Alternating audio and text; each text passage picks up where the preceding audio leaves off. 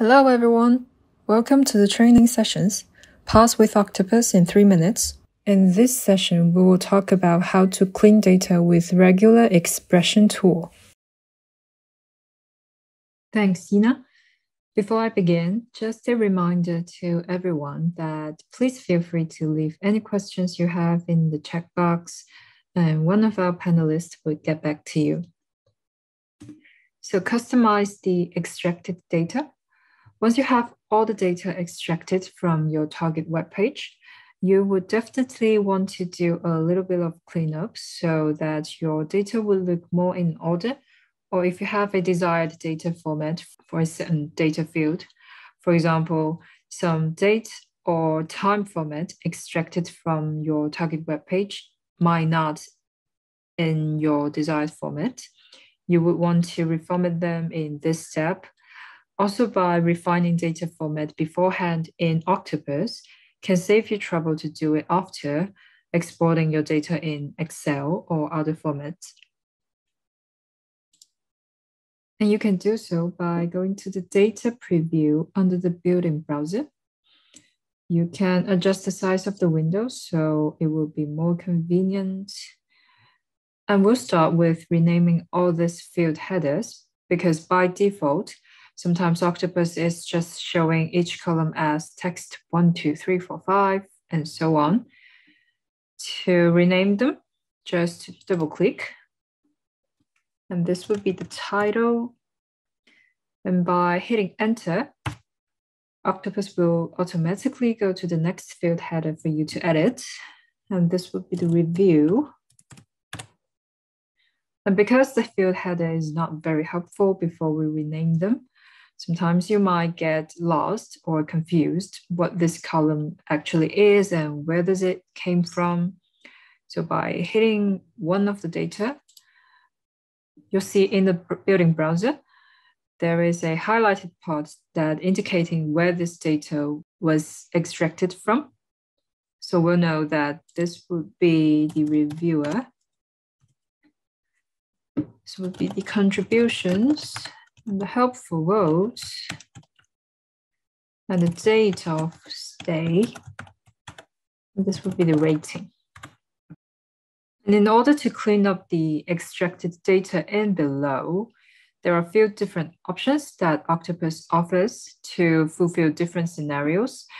You can click on More next to each column field header, select Clean Data, and by click on Add Step, you'll see different options.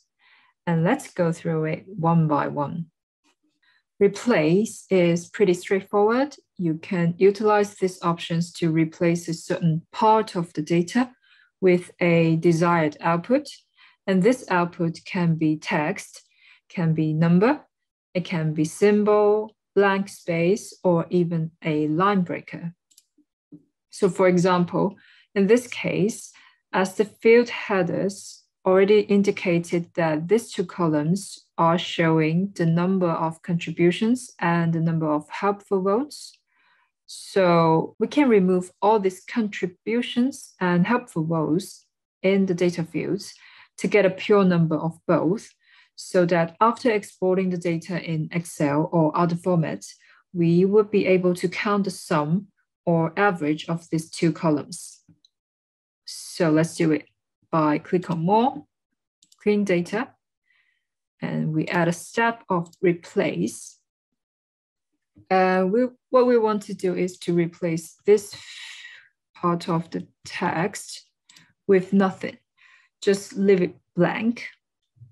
Remember to always include this blank space in between the number and the contributions Otherwise, the remaining part would be a number plus a blank space. Then you can always evaluate the result to see if it matches our preferences. Then we click confirm. You can also check on the um, output preview here. Then if everything looks good, apply it from here. Then we go to the next field and we do the same thing. We do clean data, we add a step of replace, and we want to replace all this field with nothing, leave it blank, confirm, the output looks good, and we apply.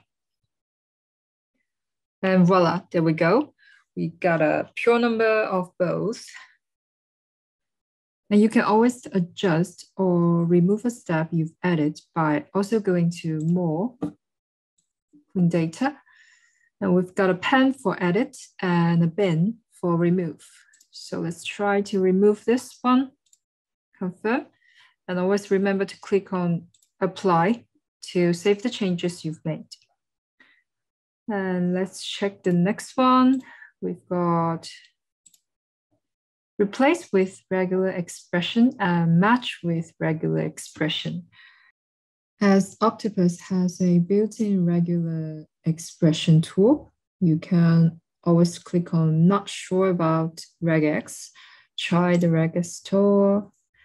And what we want to do is we want to extract this part of the original text. So we will start the regex with anything before the part and end with everything after the part. And then we can generate a regular expression with the regex tool. Uh, always remember to click on match all, and then we match to check on the results, which is exactly what we need. And we apply and confirm and apply again. Then we got all this rating with the exact results we want. And let's check on the next one. We've got trim space. So Octoparse is offering three types of spaces trimming to trim the start from the end or from both. You can choose upon your needs.